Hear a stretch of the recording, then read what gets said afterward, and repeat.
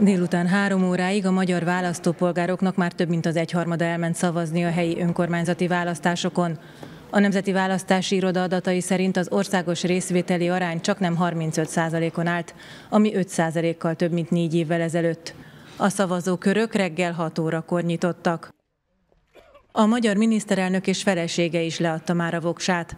Orbán Viktor és Lévai Anikó az Ugligeti általános iskolában a főváros 12. kerületi 53-as számú szavazókörében élt állampolgári jogával és kötelességével.